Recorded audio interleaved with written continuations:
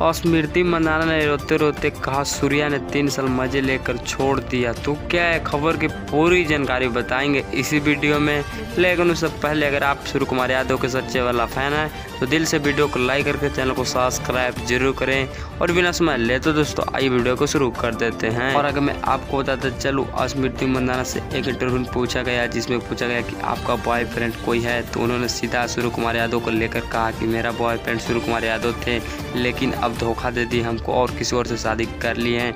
और यह बात 2019 का है। दोस्तों, उन्होंने स्मृति मंदाना ने कहा कि जब हमने दोनों एक साथ प्रेस्टिक मैच करते थे तो तभी से हम लोग का रिलेशन तीन साल रहा। लेकिन अब सूर्या ने धोखा देकर शादी कर लिए और अगर मैं आपको बतला दूँ कि सूर्य कुमार यादव ने स्मृति मंदाना के साथ तीन साल मज़े लिए हैं। दोस्तों, कल सेमीफाइनल मुकाबला हारने के बाद एक इंटरव्यू पूछा गया स्मृति मंदाना से। दोस्तों, हार का कारण तो उन्होंने जवाब दिया टीम इंडिया के हार का कारण। और दोस्तों, उसी पर एक इंटरव्यू कोई और पूछ दिया कि आपका कोई बॉयफ्रेंड है तो उन्होंने साफ़ जवाब दिया कि मेरा बॉयफ्रेंड थे सूर्य कुमार यादव। लेकिन हमारे साथ धोखा किए हैं, तीन साल रिलेशन में थे हम दोनों साथ में। हालाँकि दोस्तों, ऐसा उन्होंने जवाब दिया है। लेकिन दोस्तों, आगे कहना चाहिए? क्या सूर्य कुमार यादव को स्मृति मंदाना का छोड़ने का काम था और क्या धोखा देने का काम था या फिर नहीं? दोस्तों कमेंट बॉक्स में एक सिराज उड़ाफ हमें भेज सकते हैं। अगर स्मृति मंदाना को लेकर और सूर्य कुमार यादव का सच्चे वाला फ़ैन है तो कमेंट बॉक्स में एक सिराज उड़ाफ हम भेज सकते हैं।